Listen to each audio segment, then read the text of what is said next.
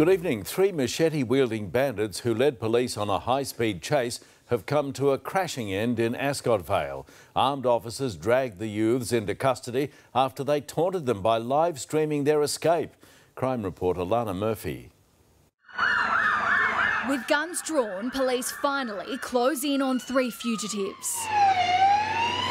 Pinned against a power pole inside a stolen vehicle, a teenager is dragged from the back seat. An hour spent running from police over. I can't understand why they think they could drive like that and get away with it. But this 20 year old, an 18 year old, and their 16 year old rear passenger are suspected of more than dangerous driving. Police say they stormed two Werribee supermarkets with machetes around 9am. First, they terrorised a 19 year old worker at an NQR. They knew what they were coming for and then they've gone and stolen some alcohol and thrown some of it on the ground. Then they leapt over the counter at a nearby Foodworks and demanded cash from a 60 year old female staff member.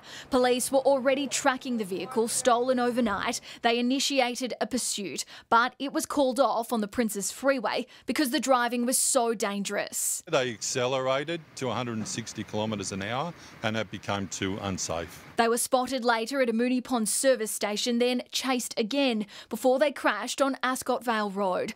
Striking a sedan as a woman attempted to turn, the force sent the hatchback flying. Police say as they chased the Hyundai, the occupants threw a wheel brace and a bottle of alcohol at officers. Once the pursuit was called off, they were still able to track the location of the offenders because they were live streaming on social media. It was no longer a joke as they were searched, then taken into custody. A machete and cash seized too. The 16 year old now at the Royal Children's Hospital. We're looking at armed robbery, aggravated burglary, driving offences. And for at least one of the suspects, a likely charge of committing this offending on bail. Lana Murphy, 9 News.